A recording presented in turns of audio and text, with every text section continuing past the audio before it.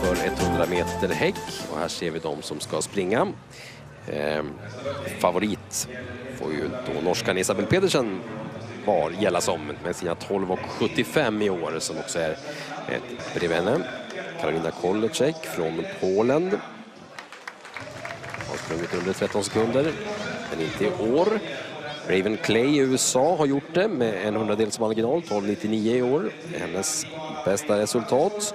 Samma tid har eh, Stenkamp från eh, Sydafrika gjort det, år, 12,99 alltså. Så här då eh, Isabel Pedersen som sticker ut då med sina 12,75.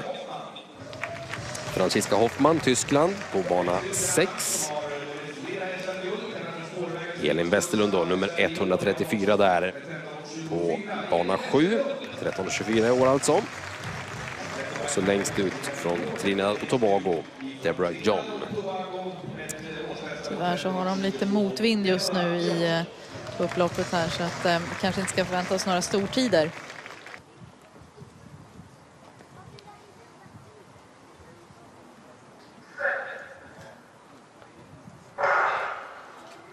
Ser fram till den första häcken så går ju norskan väldigt, väldigt bra. Isabel Pedersen så går hon i lite grann och tappar lite rytm men eh, håller väl ändå ledningen. Bra går också Stenkamp från Sydafrika på banan innanför och eh, vinner det här faktiskt Stenkamp på 13 och 15.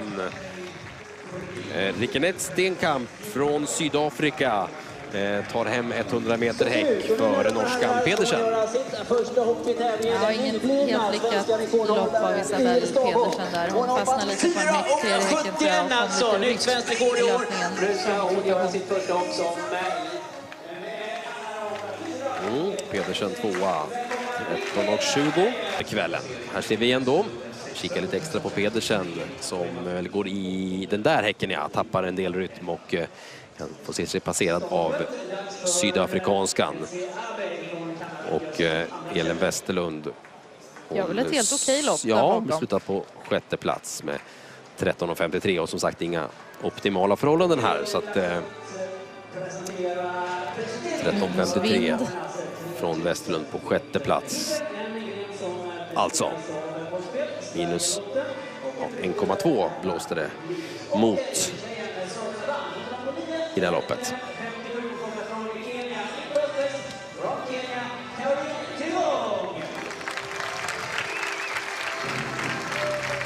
Här ser vi det om. Mikael Stenkamp före Isabel Pedersen och eh, Kolecek från Polen tredje plats. Westerlund sexa och Emma Turesson på en åttonde plats.